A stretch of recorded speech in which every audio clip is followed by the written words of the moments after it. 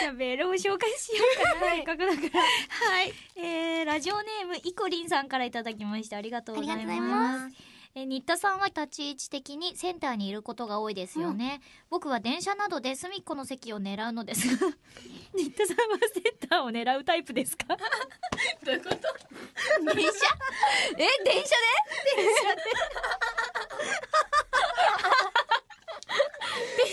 え、別にどう？センター狙ってく電車まで隅っこ狙いますね、私もね。え、せ、電車のセンターってどういうことですか？椅椅子の？それと、それとも、あの、もう立ってる中のセンター？真ん中でこうやって仁王立ちしてればいいってことですか。それか、それもありだし、席もありだし、あと車両に一番前に立ってみてね。前の方の、こう、なんていうの、景色が流れてる。運転席の真後ろそこは狙ってる、いつも。ター狙ってく一番前狙ってますね。一番前狙って一番前狙ってますね。さすがほのかだわ。ぶれない。